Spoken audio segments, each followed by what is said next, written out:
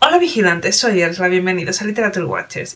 Y hoy os traigo las 6 claves de Tres Coronas Oscuras de Kendall Blake, la novela con la que se inicia una serie llena de intrigas, mitos, magia, tres reinas y solamente una corona. Clave número 1. La novela la publica en España del Nuevo Extremo con la edición tradicional de tapa blanda con solapas, aquí está la autora. En el interior podemos encontrar 416 páginas de novela y un escueto mapa. Clave número 2.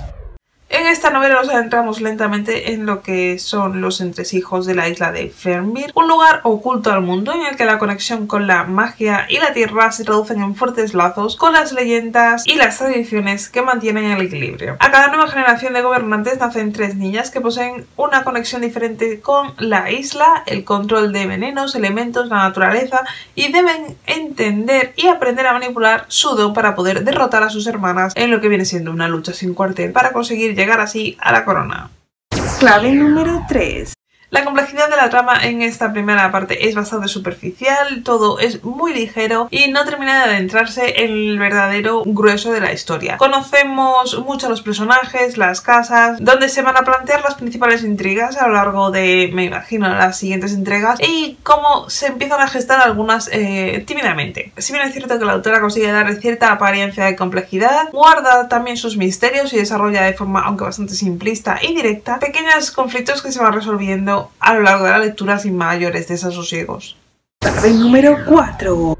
Con una novela narrada en tercera persona, oscilando entre las tres protagonistas, la autora consigue dar a la novela cierto dinamismo, que mantenga el misterio y la expectativa para el lector, presentando una historia bastante interesante de fondo, que es lo que realmente consigue llamar la atención por su particularidad. Con unos personajes demasiado cercanos al estereotipo básico con el por los que pasan casi todas las novelas juveniles de fantasía, de paranormal o de lo que sea últimamente, hay muy pocas novedades en su desarrollo y no consigue impactar especialmente.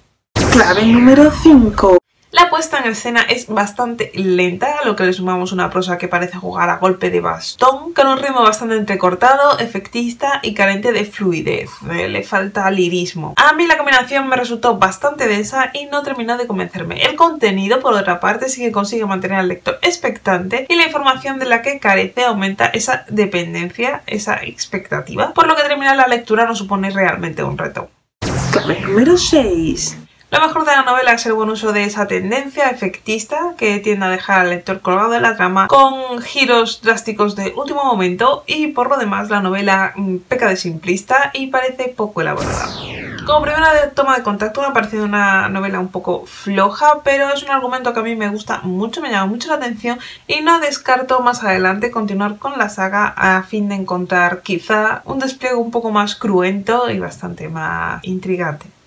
Eso es todo por mi parte, recordad que abajo en la descripción tenéis enlace a la reseña en el blog. No olvidéis compartir en los comentarios qué os ha parecido la novela si ya la habéis leído o por qué os llama la atención si todavía no lo habéis hecho. No olvidéis suscribiros, darle a like si os ha gustado el vídeo y compartirlo. Nos vemos en el próximo.